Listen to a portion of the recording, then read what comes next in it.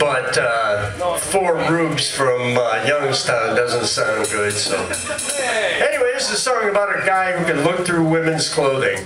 Yay! Kind of like handsome dick, but not exactly. It's called The Man with the X-Ray Eyes. Here.